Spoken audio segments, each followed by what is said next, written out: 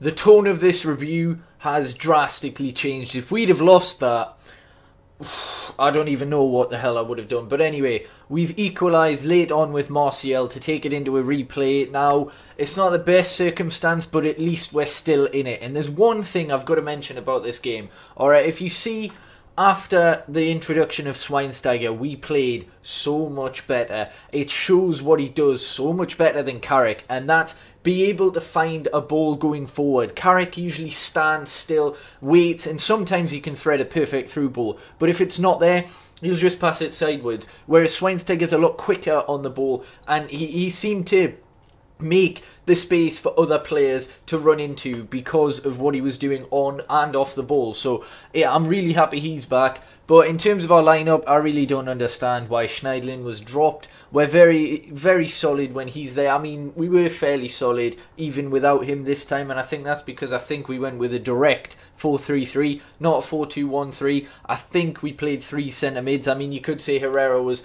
more into the number 10, but it, it was Fellaini, Carrick, and Herrera all kind of in a in a line, kind of you know interchanging with each other, uh, with Lingard, Martial, and Rashford up front, and we created equal amounts of chances with West Ham. To be honest, the result was deserved, but it's a result that neither team will really want. Well, West Ham will have probably wouldn't have minded it as much, even though we got the equaliser purely because they're at home. So yeah, and to be honest, it's just a game we have to win. No matter what, we have to win because this is the best chance to win the FA Cup in God knows how long. We haven't won it in 12 years. We've won it the second most amount of times, and it's time to win it again. Arsenal went out against Watford, so it's set up. We've got Everton, Crystal Palace, or Watford if we beat West Ham in the semi-finals, and it's a Wembley place, and we haven't played in Wembley since the Community Shield uh, that Moyes won, which is almost a thousand days ago. We haven't won a trophy since that Community Shield. It's embarrassing, but uh, in terms of the game,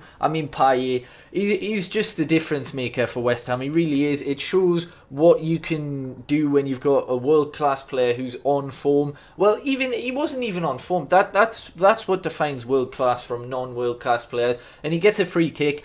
And uh, regardless whether you think it was a free kick or not, it probably was. But anyway, it's just it's just world class. It's such a good free kick. David De Gea can't get anywhere near it. And uh, yeah, 1 0. And after that, I thought we were going out. But as I say, we brought on Memphis, Schweinsteiger, finally Van Gaal making some good substitutions. Not one of these bollocks ones where Rashford ends up playing like what looked like right back for some of the other game or right wing back uh, last game against what wait was it Liverpool or West Brom he did that? But anyway yeah like for like substitutions or adjusting it slightly. I mean, Memphis Schweinsteiger, they, they were good substitutions to bring on, and they changed the game in our favour. And also, he subbed off Varela later for Darmian. That's a like for like switch. It's very rare for him to do that. And as I say, we got the equaliser back from Martial. It's a really good cross from Herrera, and there's talk of is, Schnei- is Schweinsteiger blocking off Randolph, but regardless, it's a brilliant finish from Martial. West Ham should have had a penalty. I didn't uh, go through that, but yeah,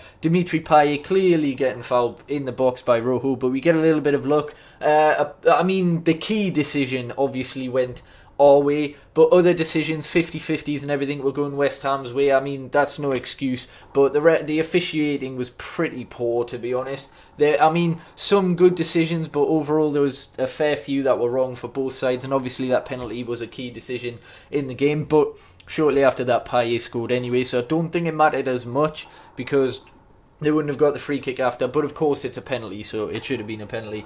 Um, but as I say, in terms of the game, it's just it, was a fair result. It's a much better performance from United, but we really need to take this into uh, Liverpool now. We're 2 0 down. We need to play this um, type of football where we're creating chances, we're running off players, and Schweinsteiger has to play alongside Schneiderlin with Herrera in the midfield.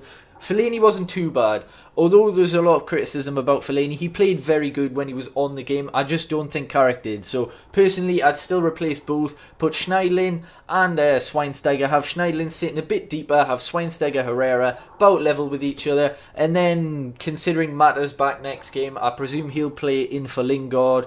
Uh, then we'll probably play Rashford, Martial, I would think.